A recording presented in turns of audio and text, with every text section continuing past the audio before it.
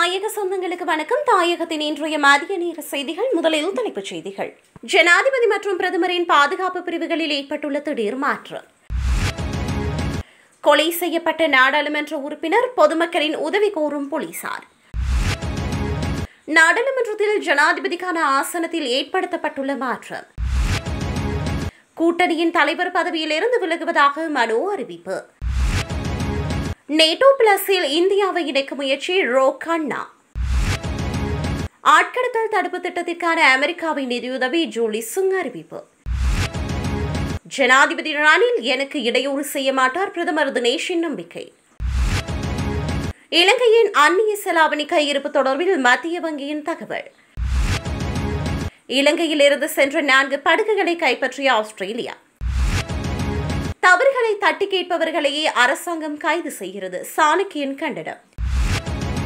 மனோ ஹக்கீம் ரிஷாட் அணிகள் சர்வகட்சி அரசாங்கத்திற்கு பச்சை கொடி. மனோகணேசனின் பதவி விலகல் தொடர்பில் திகாம்பரம் வெளியிட்ட தகவல். இனி விரிவான செய்திகள். ஜனாதிபதி மற்றும் பிரதமரின் பாதுகாப்பு பிரிவின் பணிப்பாளர் பதவிகள் உடன் அமுலுக்கு வரும் வகையில் மாற்றப்பட்டுள்ளன.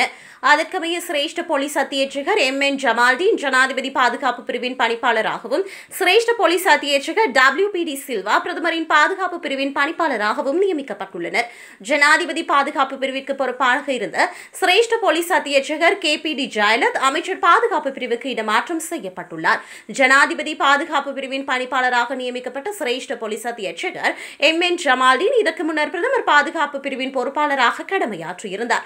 பிரதமரின் பாதுகாப்பு பிரிவின் பணிப்பாளராக நியமிக்கப்பட்ட சிரேஷ்ட போலீஸ் அத்தியட்சகர் டபிள்யூ பி டி சில்வா இதற்கு முன்னர் கடற்படை பிரிவின் பணிப்பாளராக கடமையாற்றியிருந்தார். அமைச்சர் பாதுகாப்பு பிரிவுக்கு இடமாற்றம் செய்யப்பட்ட சிரேஷ்ட போலீஸ் அத்தியட்சகர் ஜே பி டி ஜெயலலித் முன்னாள் ஜனாதிபதியின் பாதுகாப்பிற்கு பொறுப்பான ஜனாதிபதியின் பாதுகாப்பு பிரிவின் பணிப்பாளராக செயல்பட்டுள்ளார். ஸ்ரீலங்கா பொதுஜன பெரமுனவின் நாடாளுமன்ற உறுப்பினர் அமரகீர்த்தி அத்துக்கோரல அவரது பாதுகாப்பு அதிகாரியான போலீஸ் சார்ஜென்ட் உட்பட மூன்று பேரை கொலை செய்த சம்பவத்துடன் தொடர்புடைய சந்தேக நபர்களை அடையாளம் காண போலீசார் பொதுமக்களின் உதவியை நாடியுள்ளனர். கடந்த மே மாதம் ஒன்பதாம் தேதி நிட்டம்புவ நகரில் கடந்த கொலை சம்பவம். தொடர்பில் சிசிடிவி காட்சிகளூடாக அடையாளம் காணப்பட்ட எட்டு நபர்கள் கைது செய்யவே போலீசார் பொதுமக்களின் உதவியை நாடியுள்ளனர். சந்தேக நபர்களை எட்டு பேரின் புகைப்படங்கள் போலீசார் வெளியிட்டுள்ளனர்.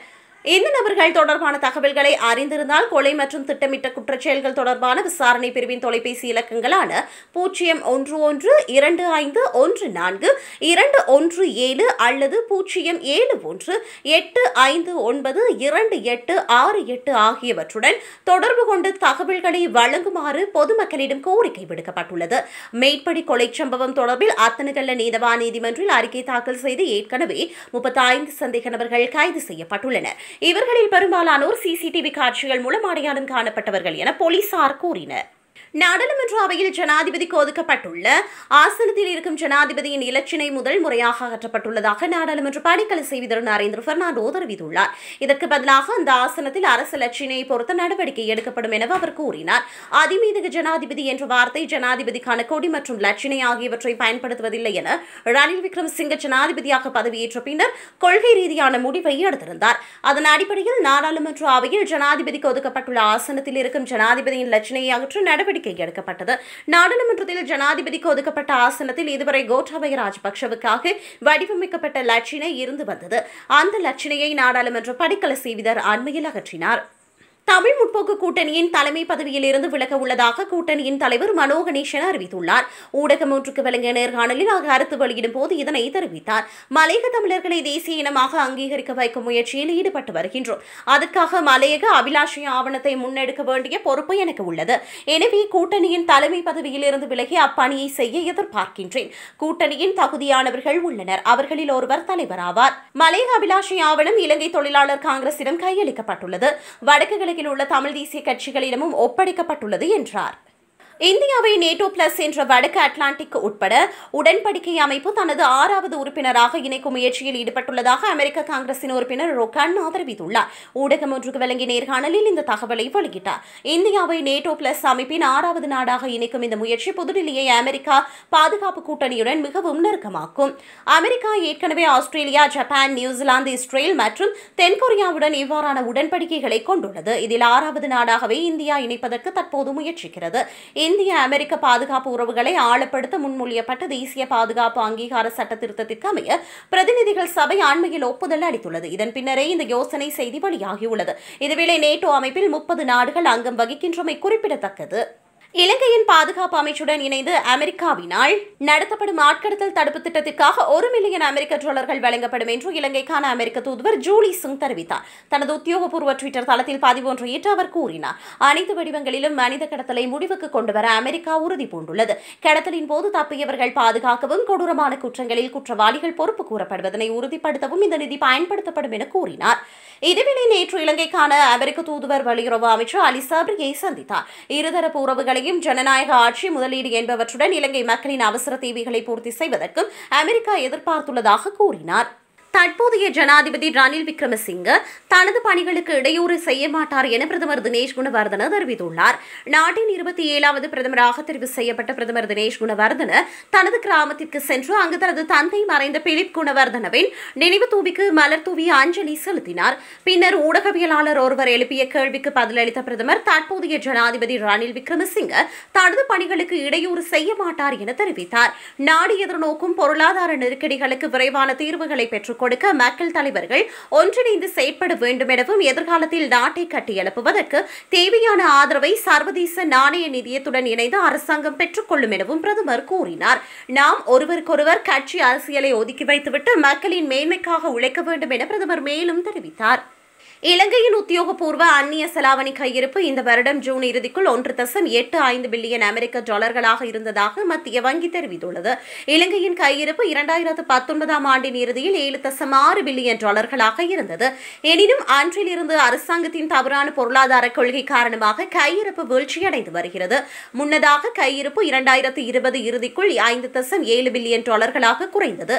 மத்திய வங்கியின் புள்ளி விவரங்களின்படி கையிருப்பு இரண்டாயிரத்து இருபத்தோராம் ஆண்டின் இறுதியில் மூன்று தசம் ஒரு பில்லியன் டாலர்களாகவும் இரண்டாயிரத்தி இருபத்தி இரண்டு மார்ச் இறுதியில் ஒன்று தசம் ஒன்பது பில்லியன் டாலர்களாகவும் குறைந்தது. கையிருப்பு குறைவினால் எரிபொருள் மற்றும் மருந்து போன்ற அத்தியாவசிய பொருட்களை இறக்குமதி செய்வதில் இலங்கை பாரிய நெருக்கடியை எதிர்கொண்டுள்ளது. எனினும் சர்வதேச நாணய நிதியம் உலக வங்கி மற்றும் பல நன்கொடையாளர்கள் நிதி உதவியை வழங்குவதற்கு முன்னர் இலங்கை அரசாங்கம் ஒரு பேரண்ட பொருளாதார திட்டத்தை முன்வைக்குமாறு அழைப்பு விடுத்துள்ளனர். இலங்கையில் இருந்து கடந்த மாதம் சட்டவிரோத குடியேற்றவாசிகளை ஏற்றி வந்த நான்கு படகுகளை ஆஸ்திரேலிய கடற்பரப்பில் கைப்பற்றியதாக அந்நாட்டு கரையோர பாதுகாப்பு படையினர் தெரிவித்தனர். அந்த படகுகள் வந்து நூற்றி இருபத்தி ஐந்து பேரை தாம் பொறுப்பேற்று நாடு கடத்தியதாகவும் ஆஸ்திரேலிய கரையோர பாதுகாப்பு படையினர் வெளியிட்டுள்ள அறிக்கையில் கூறப்பட்டுள்ளது. இரண்டாயிரத்து பதினைந்தாம் ஆண்டுக்கு பின்னர் ஒரு மாதத்தில் ஒரு மாதத்தில் அதிகளவான சட்டவிரோத குடியேற்றவாசிகள் ஒரே தடவையில் பிடிப்பட்டது இதுவே முதல் முறை எனவும் அறிக்கையில் தெரிவிக்கப்பட்டுள்ளது. ஆஸ்திரேலிய தொழிற்கட்சி அரசாங்கத்தின் மீள் குடியேற்றம் மற்றும் தேச எல்லை சட்டங்களில் எந்த தளர்வும் ஏற்படுத்தப்படவில்லை என ஆஸ்திரேலிய சமஷ்டி அரசு தெரிவித்துள்ளது. இதனால் ஆஸ்திரேலியாவுக்கு வரும் சட்டவிரோத குடியேற்றவாதிகள் உடனடியாக திருப்பி அனுப்பி வைக்கப்படுவார்கள் என ஆஸ்திரேலிய உள்நாட்டு அலுவல்கள் திணைக்களம் கூறியுள்ளது.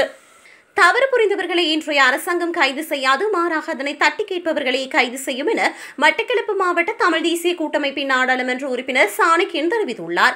மட்டக்களப்பு களுவாஞ்சிக்குடியில் உள்ள அவரது அலுவலகத்தில் நடைபெற்ற ஊடகவியலாளர் சந்திப்பின் போது அவர் இதனை கூறினார். இது தொடர்பாக அவர் மேலும் தெரிவிக்கையில் தமிழ் தேசிய கூட்டமைப்பில் உள்ளவர்கள் யாரும் இந்த ஜனாதிபதிக்கு பணம் வாங்கி ஆதரவு வழங்கியிருப்பார்கள் என நான் நம்பவில்லை. எனினும் கூட்டமைப்புக்கு எதிராக ஹரின் பெர்னாண்டோ இவ்வாறான குற்றச்சாட்டுகள் ஒன்றை சுமத்தியிருந்தார். எனினும் நாங்கள் இதனை ஏற்றுக்கொள்ளவில்லை. இதனையே பிளாட் தலைவரும் செலோ தலைவர்களும் கூறியிருக்கின்றனர். அவ்வாறு வாங்கியிருந்தால் தமிழ் தேசிய கூட்டமைப்பில் விசாரணைகள் மற்றும் நடவடிக்கைகள் முன்னெடுக்கப்பட வேண்டும். ஆனால் அவ்வாறு யாரும் வாங்கியிருக்க மாட்டார்கள் என்பதே எனது கருத்தாகும். இன்று நாட்டில் பெட்ரோல் எரிவாயு மண்ணெண்ணெய் போன்ற அத்தியாவசிய பொருட்கள் அனைத்துக்குமே தட்டுப்பாடு ஏற்பட்டுள்ளது. அதிகரிக்கும் தட்டுப்பாடுகள் காரணமாக பொருட்களின் விலை அதிகரிப்பது தொடர்பில் மக்கள் கவனம் செலுத்தாது உள்ளனர் எனவும் கூறினார்.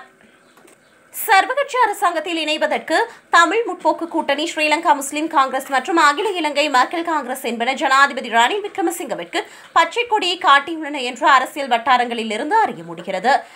ஜனாதிபதி அடுத்த இரு வாரங்களுக்குள் சர்வகட்சி அரசாங்கம் அமைப்பதற்கான நடவடிக்கையில் ஈடுபட்டுள்ளார். மேலும் சர்வகட்சி அரசாங்கத்தை அமைப்பதற்கு ஒன்றிணைமாறு நேற்று அனைத்து நாடாளுமன்ற உறுப்பினர்களுக்கும் கடிதம் மூலம் அழைப்பு விடுத்தது. இது தொடர்பாக கட்சிகளுடன் ஜனாதிபதி நேரில் கலந்துரையாடி வருகின்றார். இதற்குமைய ஸ்ரீலங்கா சுதந்திர கட்சியின் நேற்று முன்தினம் அவர் பேச்சுவார்த்தை நடத்தினார். அந்த கட்சியும் சாதகமான சமிகையை வெளியிட்டுள்ளது. இந்த நிலையில் மனோகணேசன் தலைமையிலான தமிழ் முற்போக்கு கூட்டணியும் ரவுஃப் ஹக்கீம் தலைமையிலான ஸ்ரீலங்கா முஸ்லிம் காங்கிரசும் மற்றும் ரிஷாட் பதியுதீன் தலைமையிலான அகில இலங்கை மக்கள் காங்கிரசும் ரணிலுக்கு நேசக்கரம் நீட்ட உள்ளன. தமிழ் முற்போக்கு கூட்டணியில் இளம் தலைவர்கள் உள்ளனர். மனோகணேசன் அல்ல. நான் விலகினால் கூட கூட்டணி பலமாக பயணிக்கும் என தொழிலாளர் தேசிய சங்கத்தின் தலைவர் நாடாளுமன்ற உறுப்பினர் பழனிதி காமரம் தெரிவித்தார். தமிழ் முற்போக்கு கூட்டணியின் தலைமை பதவியிலிருந்து தான் விலக உள்ளதாக கூட்டணியின் தலைவர் மனோகணேசன் அறிவித்திருந்தார். இது தொடர்பில் கூட்டணியின் பிரதி தலைவர் பழனிதி காமரம் ஊடகங்களுக்கு கருத்து தெரிவிக்கும் போது இதனை கூறினார். இது தொடர்பில் அவர் மேலும் தெரிவிக்கையில் தலைவர் பதவியிலிருந்து விலகுவது குறித்து கூட்ட கூட்டத்தில் மனோகணேசன் கலந்துரையாடவில்லை. சில வேளை வயதாகிவிட்டதால் அவர் அந்த முடிவை எடுத்திருக்கக்கூடும். யார் விலகினாலும் தமிழ் முற்போக்கு கூட்டணி பலமாக பயணிக்கும். இந்த கூட்டணியில் சிறந்த இளம் தலைவர்கள் உள்ளனர் என கூறினார்.